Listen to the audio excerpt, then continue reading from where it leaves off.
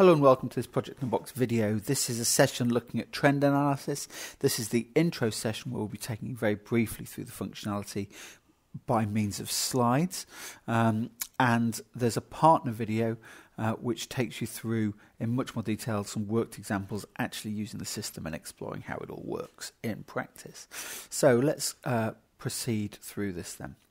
So um, we have a whole load of data that we collect within our system at the project level. We call these properties.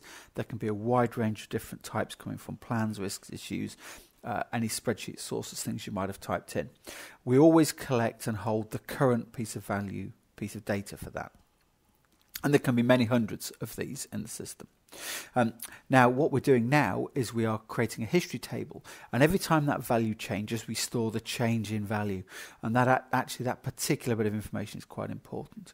So, what we can see here is some things will change regularly, the progress and the actual cost. Some things change less often, like the budget cost.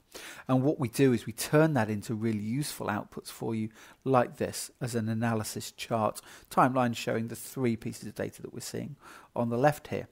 Um, and we do that in a few stages. So we fundamentally hold in the database every time something actually changes. That's down to the second when it happens. Um, and if you look at that in real time, um, without any sort of filters applied to that data, you would see something like this. You would see that the budget changed from one value to another here. The budget obviously was set somewhere back earlier than December 17, back over here. And sometimes in a month we see many changes happening, um, as we've got here. That sort of, and some months you might not see any changes, and so that sort of data become is a little bit rough. And what we often want to see is something more processed like this. And therefore, the system enables you to apply filters to do all that. So um, it allows you to decide what happens when you've got multiple data points in a month. In this case, we're choosing to see the last data point in each month.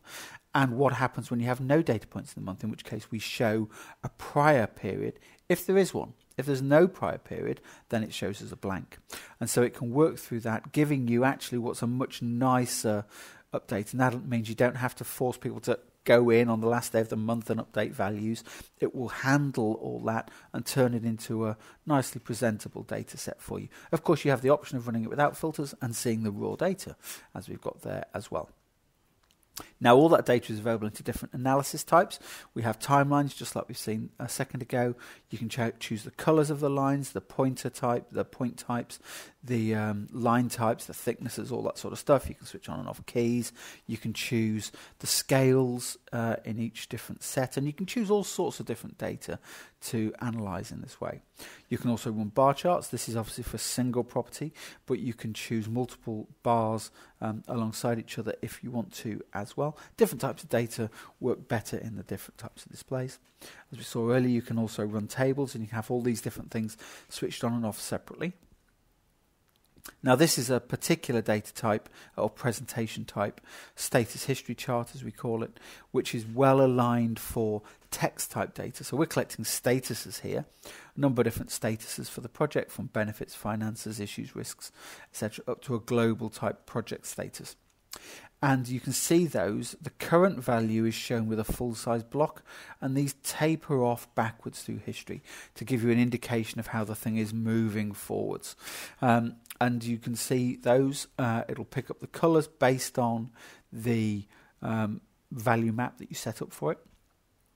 Um, and uh, you can see how those have changed over time. Some of them won't change, um, and some of them will change fairly regularly. But it's a really good way of seeing text type data. You can actually make that show on these other sorts of analysis, but this is a really nice way of clearly seeing uh, rich information like that.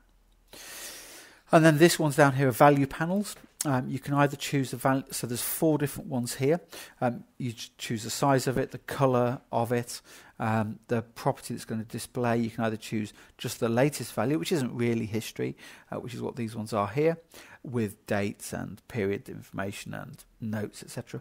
And you can choose one that compares the current value to the last period value. So we're using daily here, 10th of December and 9th of December we're looking at how the burn rate has changed, and it's the same value on those two different periods, so it's the same. But it would show you differences with ups and downs. Often a stock type of display here, um, and so that's really useful for getting nice, rich overview information into reporting, for example. Um, so those are the different analysis types that are available for you based on that history data we've been collating. You can use those in two ways. There are inbuilt live analysis windows in the Windows application and also in the browser interface as well, um, where you can pull stock analysis types and see them straight away for the current project or portfolio. Um, and in the Windows application, you can then personalize those and save new ones. And you can also generate that into reports. And of course, into reports that can be blended with lots of other data. So here at the top, we've got a, uh, a report which is showing those value panels we saw earlier, mixed in with some charts coming through, some data points, some tables coming out of Excel, uh, automatically merged together. And in this bottom annual report here, we can see again some of those similar things we've looked at before, um, some different types of data here. This is a, a, a timeline showing the project end baseline date and predicted end date showing against the period. So we can see how that's changed over time. And this is a percentage complete showing against the period. So um, again merging all those different types of data in with perhaps more traditional text and charts. So this is a, um, a milestone timeline chart for a project all into the same place. So, like I say, that's a, a quick introduction to trend analysis um, and what you can do with it.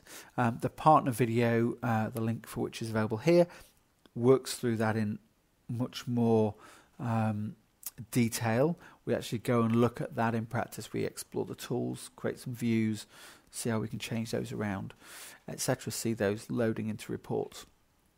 Okay, I hope you found that helpful and that you'll find the next video equally interesting. Thank you very much.